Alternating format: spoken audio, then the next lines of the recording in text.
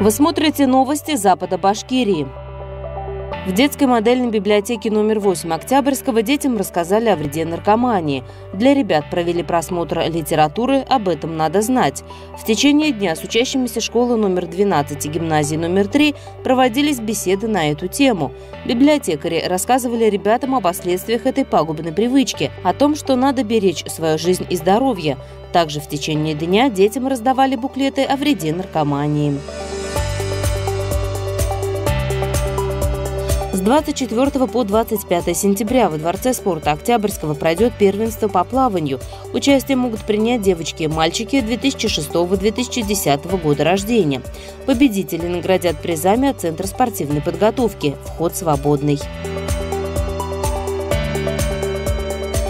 Состоялось собрание для работников культуры сельских филиалов Давлеканова. Он прошел в методическом кабинете Дома культуры, где участники прослушали информацию о проведенных мероприятиях по организации детского досуга на период летних каникул, отметили особо значимые показательные мероприятия, проведенные филиалами.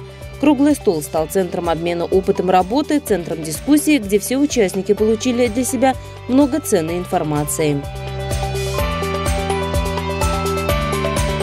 Давлеканово произошел серьезный пожар. На место ЧП незамедлительно направились спасатели, полицейские, скорая помощь и газовая служба. Как рассказали в пресс-службе МЧС России по республике, в доме обуглилась стена и потолочное перекрытие веранды. Из задымленной квартиры родителям удалось спасти троих детей. Причину пожара и обстоятельства произошедшего устанавливают. На днях Туймазы с рабочим визитом посетили первый заместитель министра здравоохранения республики Азат Рахматуллин и начальник отдела капитального строительства Рита Соколинская. Основная цель поездки – ознакомление с ходом строительства новой детской поликлиники на 300 посещений в смену. Осмотрены помещения, прилегающих и занимаемых территорий возведенной детской поликлиники. Обсуждены рабочие вопросы, связанные с оформлением внутреннего пространства здания, навигацией и логистики. Буздякском районе продолжают регистраторский обход населенных пунктов. В муниципальном районе создано 16 участков. Регистраторы в течение двух месяцев обойдут в среднем по 630 домов. Они уточнят списки адресов домов, сверят их с объектами, внесенными в маршрутные листы и нанесенными на карты схемы.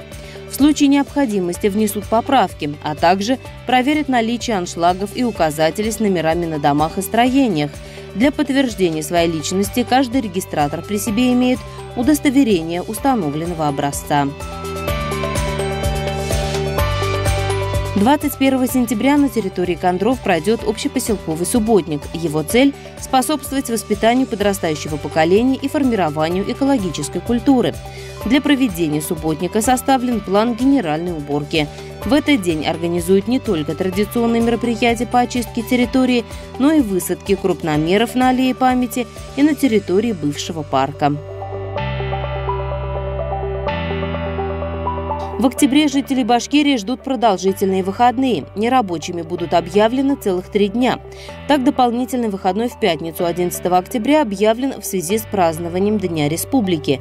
Следующий за ним суббота и воскресенье – традиционно нерабочие дни.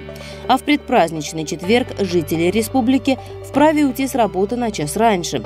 Следующий дополнительный выходной выпадает на понедельник 4 ноября из-за празднования Дня народного единства. За вторую сборную республики по шашкам выступил спортсмен из Раевского. Виктор Селезнев стал участником пятого Всероссийского фестиваля национальных и неолимпийских видов спорта. Командный турнир прошел в Уфе. За каждую команду от региона выступали двое мужчин и одна женщина. Всего в состязании приняли участие 20 команд из 19 регионов России. Победила команда хозяев, сборная Башкортостана, второе место у Тверской области, третье у Дагестана – Вторая сборная республики заняла 11 место из 20 возможных. На сегодня это все новости, а сейчас переходим к прогнозу погоды.